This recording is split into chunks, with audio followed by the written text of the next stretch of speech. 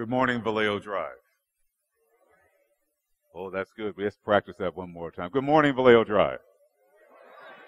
You'll hear that from me almost every Sabbath because it's good for us to speak to one another and to welcome others. It also lets me know that you actually have a pulse and you're awake. Those are important things before you start a sermon. As we begin our ministry together, let me first of all say on behalf of my wife and I how thrilled we are to be here as your pastor. We believe that the decision for us to be here was one brought by prayer and fasting, and we accept it as God's call upon our lives, and we look forward to ministering with you together. This church has a marvelous legacy of accomplishment. And while we venerate the past, we must look forward to the future. The God of our yesterdays is still the God of our tomorrows. So it's important that we take an opportunity to look ahead and look forward with hope and with optimism. I believe that our best days are still ahead of us, and God invites us to watch Him work in our midst. Now, before I begin this morning, I want to take this opportunity to first of all thank Mark Papendick for the work he has done as interim pastor in this church and the entire pastoral staff.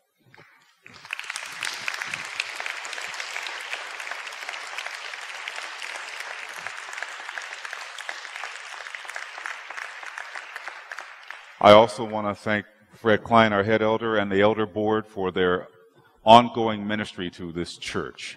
You know, I was thinking about the pastoral staff, and you have Mark, Luke, Peter, and I'm James. And I thought for a minute, we could call ourselves the disciples, become a grunge band, and go on the road. But I know that visions of us on the road as a rock band probably will cause you to lose sleep tonight, so forget that I ever said that. I also want to acknowledge my family. You've already met my wife, Joyce, but I have a group of other relatives in the audience. I'd like to have them stand. My oldest son is sitting right here on the aisle. I'm going to ask him to stand. And rest of my family members, wherever you are, I want to ask you to stand. I got family.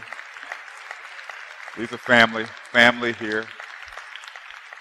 Thank you so much for coming out. One of the secrets to how I grow churches is I just invite my own family members to come in, and it allows us to grow. All right. Let's get busy. Lord, we now come before you to open your word. Speak to us. Give us guidance from above is our prayer in Jesus' name. Amen. So let me first of all comfort you. For those of you who saw my sermon title, Guess Who's Coming to Dinner? I just want to make you at ease. I am not talking about me. Got you, didn't I? Even just a little bit. We're going to learn that we're talking about a different dinner, and a different invitation. Our preaching passage tells the story of an unusual dinner invitation that begins in Matthew chapter 9. And this is an invitation to Jesus himself. In Matthew chapter 9, and maybe I should, if I'm going to show you slides, I guess I should change the slide. We find this passage. As Jesus passed from there, he saw a man named Matthew sitting at the tax at the tax office, and he said to him, "Follow me." So he arose and followed him. This Matthew was a publican. He was indeed a sinner by occupation. He was a tax collector, and the Jews hated tax collectors, but the tax collectors took money on behalf of the Roman Empire, on behalf of the oppressing army, and took it away from people, and they took a profit right off the top. Jesus says to this man, Follow me.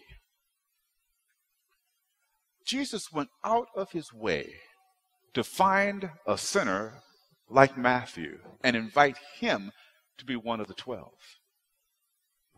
To those watching, Matthew didn't look any different after the call than he did before the call.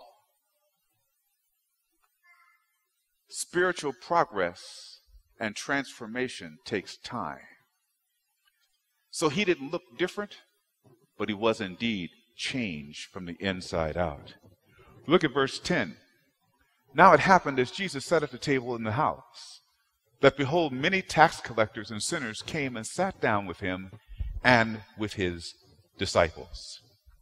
Matthew was so grateful. This works so much better when it's on, I see, yes. Matthew was so grateful that Jesus had stopped to call him that he decided to throw a big dinner party and invite all of his friends to come and see Jesus. And so he's in a home at a table with tax collectors and with sinners. Jesus was the surprise dinner guest. So there are a couple of questions that come up. Jesus loved to hang out with sinners. That's who he was. He left heaven to save a planet full of sinners. He loved to hang out with them. He was comfortable with sinners. But the other question I want to raise why were sinners so comfortable with him? What was going on with him that allowed sinners to like him so much? Well, I believe it's because Jesus offered unconditional love and acceptance. Jesus, you see, was safe. He was safe to be around. And that's why people love to be with him. He was grace unconditional. That's who Jesus was. He says in John 12, verse 13, 32, he says, If I be lifted up from the earth, I will draw all peoples unto myself. He has that ability, both while alive and certainly after he was dead, to draw men and women unto him. But then we get to verse 11. Why does your teacher eat with tax collectors and with sinners? Now, I have never been in a church as pastor where there was not at least one Pharisee. If you'd like to identify yourself now, you just save us all a lot of trouble. There are always Pharisees amongst the people of God. And these Pharisees were insulted that God would take the opportunity that Jesus would sit with sinners. They couldn't understand if you're such a righteous man, why are you hanging out with publicans and sinners?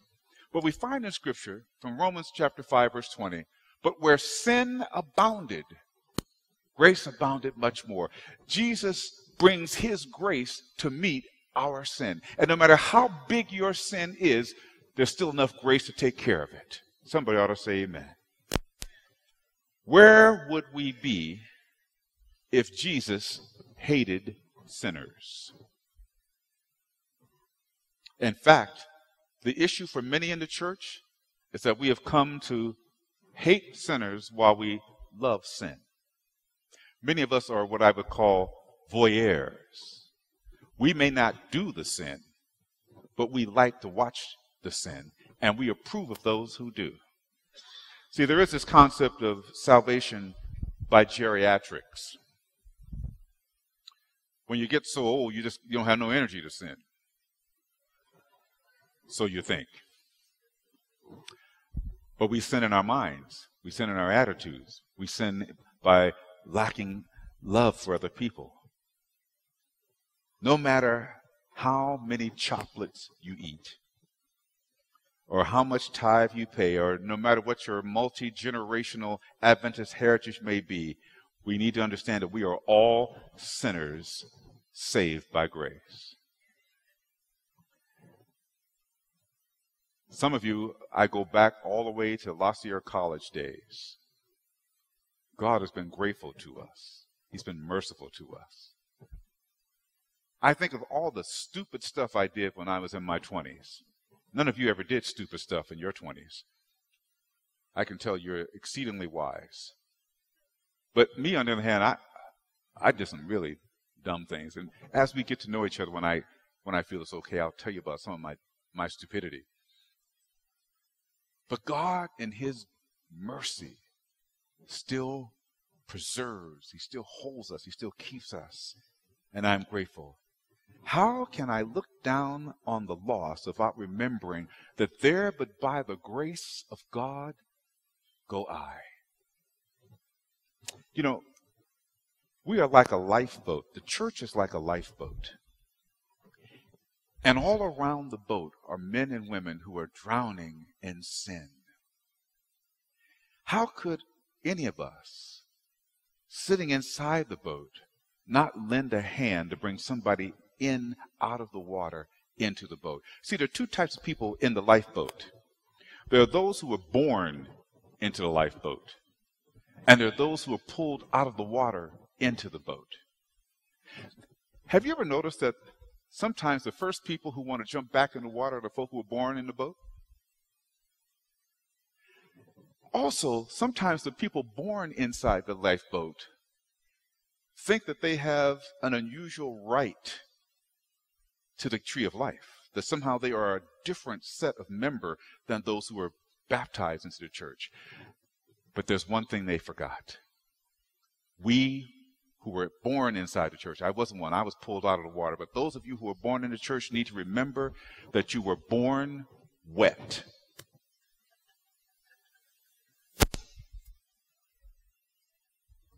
You're just as wet as the people you pulled out of the water. Because all have sinned and come short of the glory of God. We live in a sinful world, a world of injustice and a world of inhumanity. I don't know if you're aware that here in Los Angeles County, 16% of our county, 1.4 million people live with food insecurity, which means they're not quite sure where their next meal will come from. We've read and seen in the news about border children, children snatched from their parents. Now almost 2,000 of them essentially incarcerated. And I've seen now ministers and churches and others demonstrating about what they feel about this. But you don't have to go to the border to show love for someone right here in Glendale. Before we go much further in this message, I would like to deal with the elephant in the room. I know there's been quite a bit of discussion about who this pastor guy was going to be. So I think I should deal with this once and for all. And although it may appear obvious to most, let me just come out and admit it. I am tall. I feel I'm so glad I got that off my chest.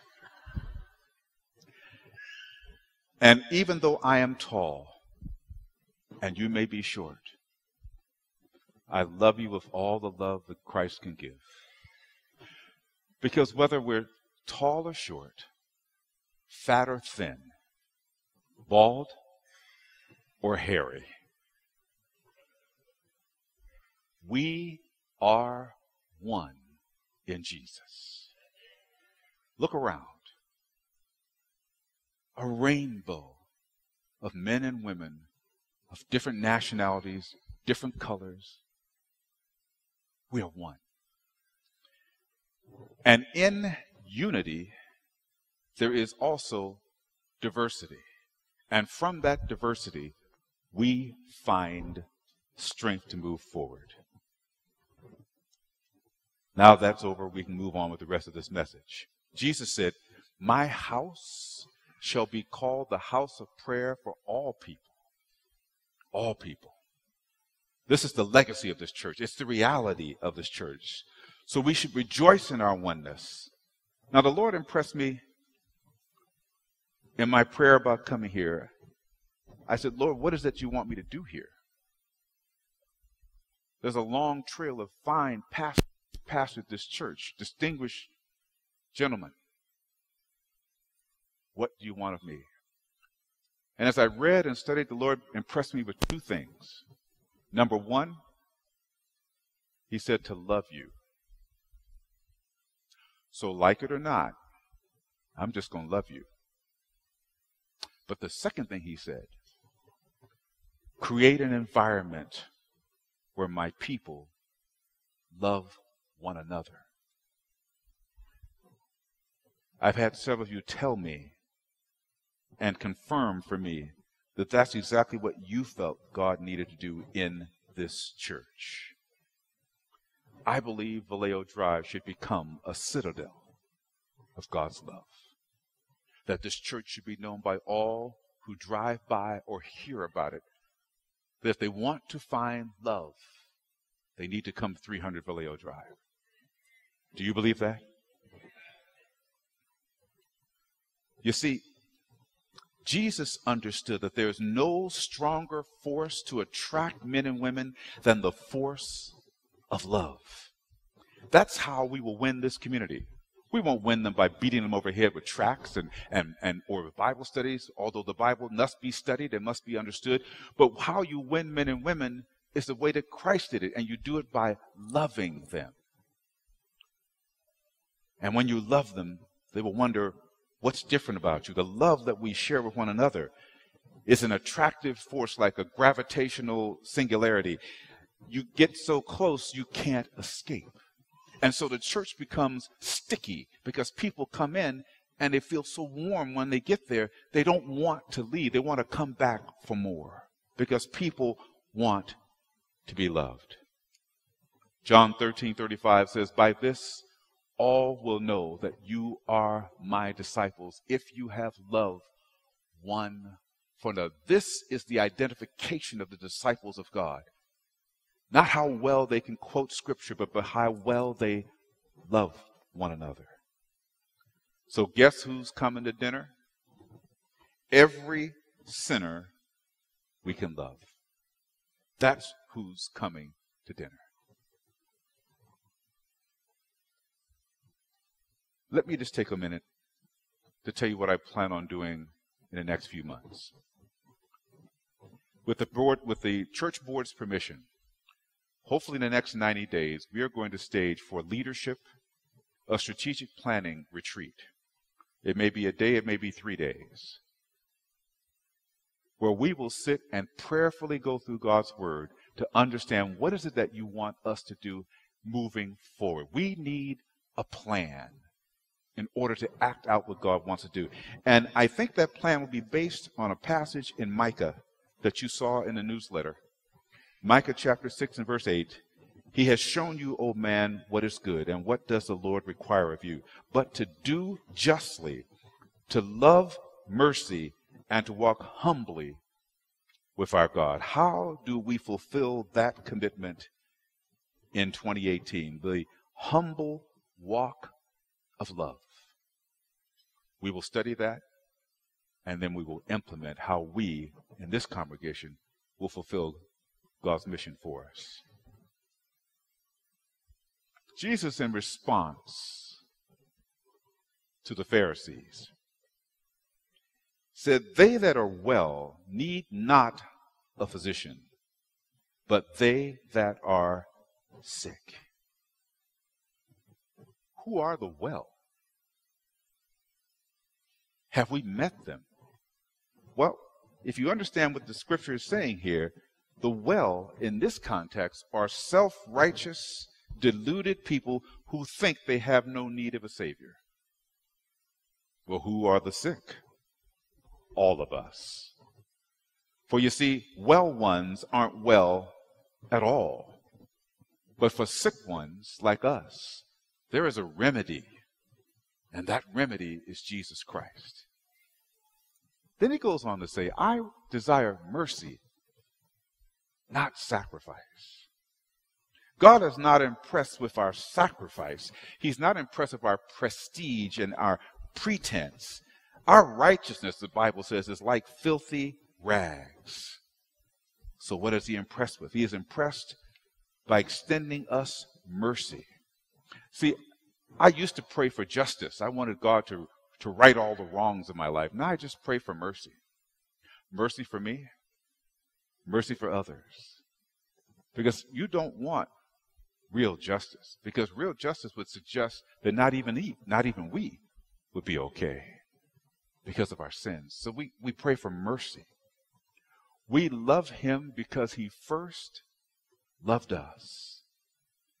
Duty, by the way, will not save us. We have to serve God not from a sense of duty, but from a sense of gratitude for what he has done for us. There are some who are so wonderful in their own eyes, so wise in their own minds, they feel no need of contrition or repentance. I had a man once tell me in a Sabbath school class in a church that will remain unnamed for obvious reasons. He said, I haven't sinned in the last six weeks.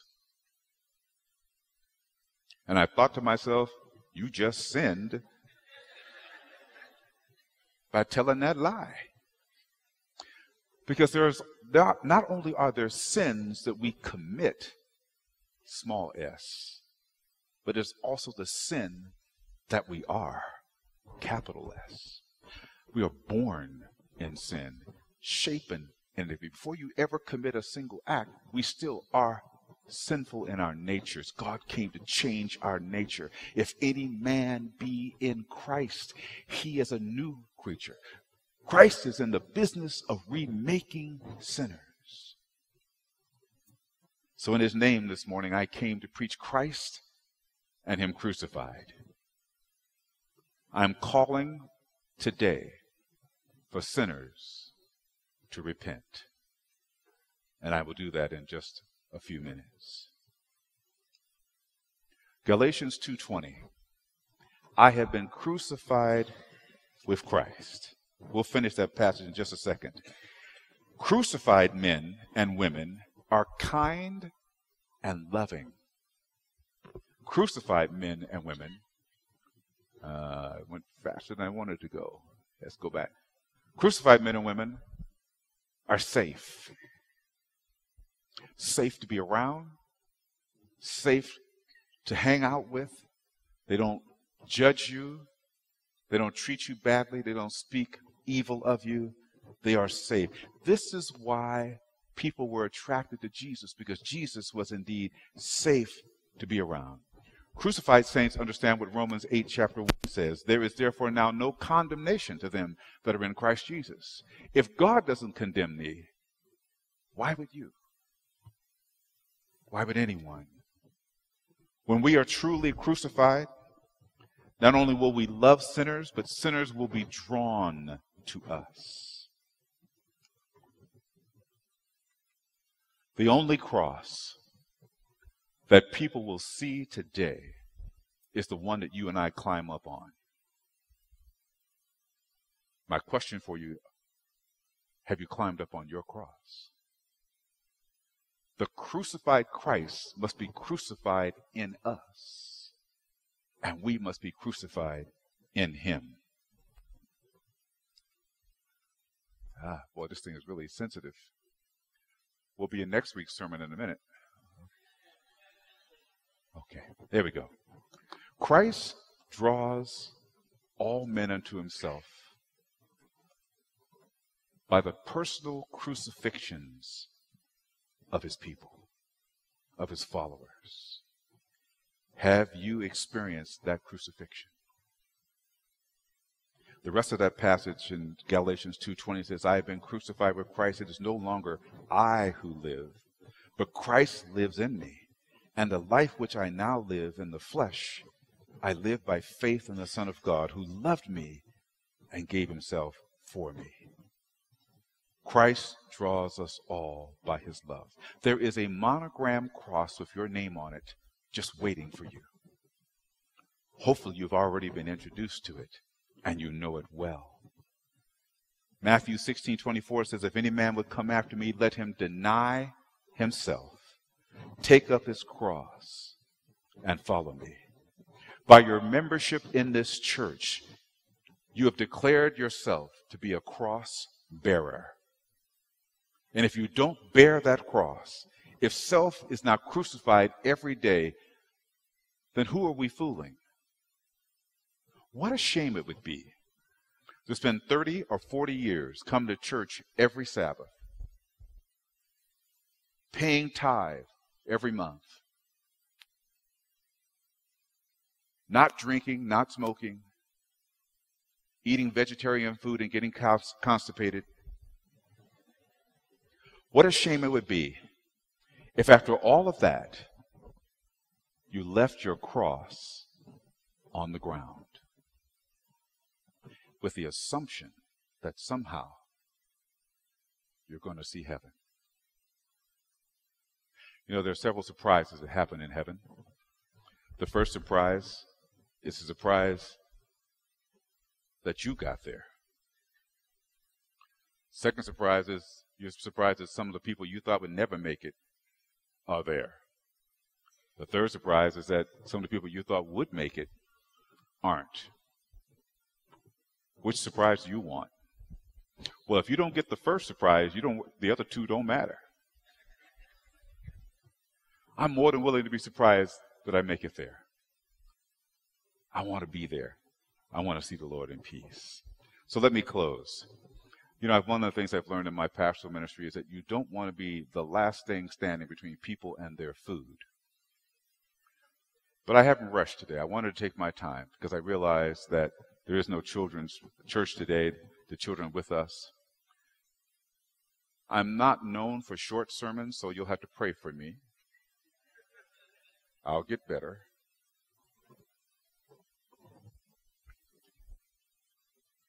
There's one more dinner party that Jesus wants to attend.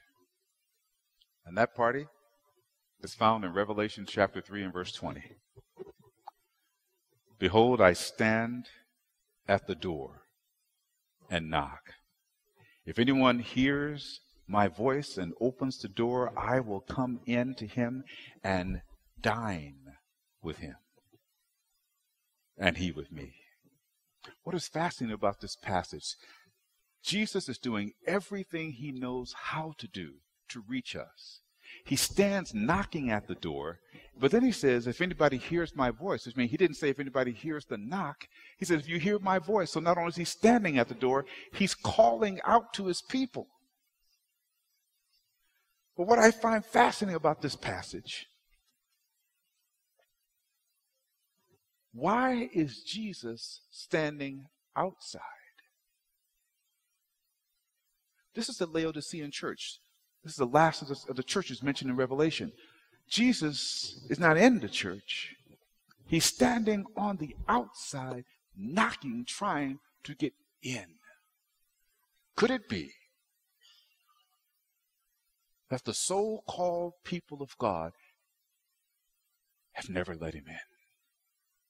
And so the prophet John, seeing the church in its last days, is saying to us, You're rich and increased in goods and have need of nothing, but you don't have Jesus inside.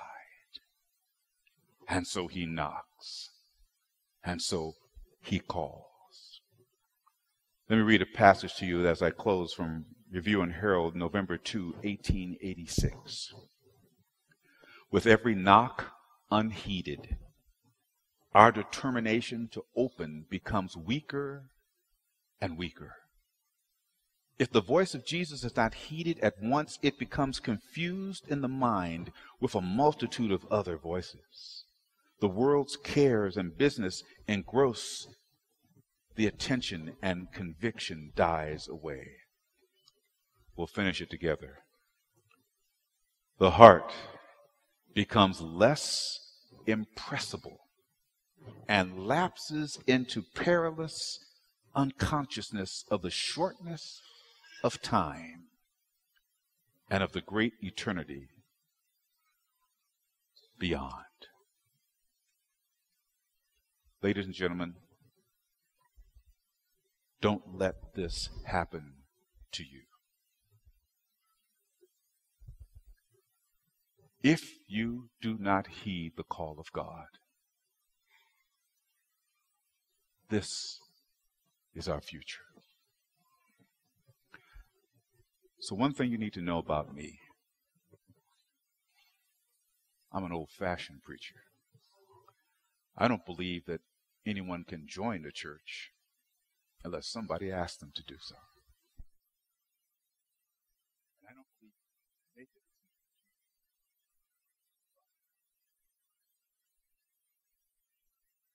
So in different ways, Sabbath, Sabbath, I've lived call.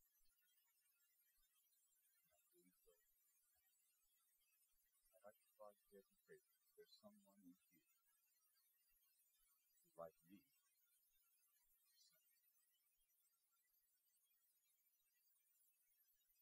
but you long to be saved by God. Without worrying about what other people think, your reputation. Someone here needs to open the door. Why y'all looking at me? You're supposed to be having your heads down praying. Put your heads down. Pray. Because somebody's soul may be weighing in the balance. If you have heard God speaking to you this morning, and you believe that you need that closer walk with Jesus, that you need to open your heart fully, unreservedly, and let Him in, that you want Him to take full control of your life and save you and your family. That's what I want. If you want that for yourself, would you just stand with me as we pray? I'll wait for you. God bless you. There are others.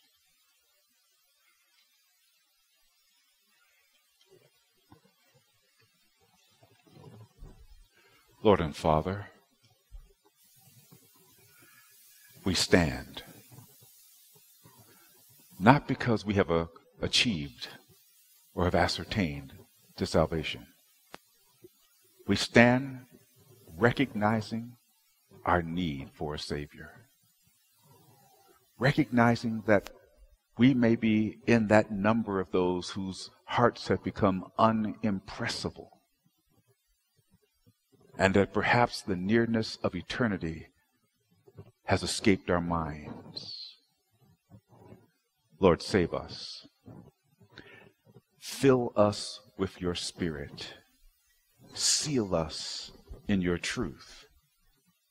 You promise in John that you hold us in your hand and no one has the power to snatch us out of your hand. Lord, we pray for that in our lives, that that would be our experience. Bless this church. Bless every believer. Before I close a prayer, there may be someone here who wants to be a part of the Vallejo Drive Church. You've been led here not by accident, but by divine appointment. If you sense that that is God's will for your life, just slip your hand into the air that we can identify you and help you. I see a hand right there. I see a hand back there. Brother, my, my pastoral staff, would you see these hands and talk to these men, individuals? Hand right here, hand there. Are there other hands? You want to be a part of this family? Just raise your hand. I see a hand right over here. God bless you. Just raise them a little higher so I can make sure I don't miss any of you. This won't take but a minute more. Keep those hands up so our elders can find you. Are there others? Praise God. Lord and Father, you have seen these hands. You know their hearts. We thank you for their decisions today. We look forward to the day when Vallejo Drive is packed to capacity with sinners. And you come to dinner with us. In Jesus' name, amen.